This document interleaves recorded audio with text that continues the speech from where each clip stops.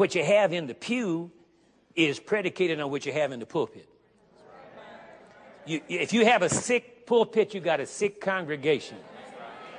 You have a prosperous pulpit, you have a prosperous congregation. You have a scared pulpit, you have a scared congregation. You have a prejudiced, racist pulpit, you have a prejudiced, racist congregation. That's all you can have. The congregation is a result of the pastor. And so some pastors are leeches. What I mean by that is that they don't wait and get anything from God to find out what's their assignment or what they're supposed to do. They just look around and see what other pastors are doing. Oh, I like that. Oh, yeah. Oh, he. Oh, my goodness. Look what he did. I'm going to do that. I'm going to do it. And they, and they just do things and they really don't have a conviction in their heart. They don't have a leading of the Spirit of God to do it. So they'll grab onto anything that seems like it's current and popular.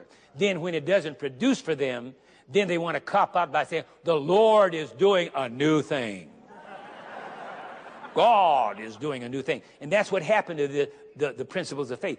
You know, God has to work through people. And sometimes we're so habituated with our traditions that he can't get a word in edgewise, as it were. So he has to wait until somebody has an open heart and an open ear that he can plug into by his spirit and give an emphasis on a particular part of his covenant.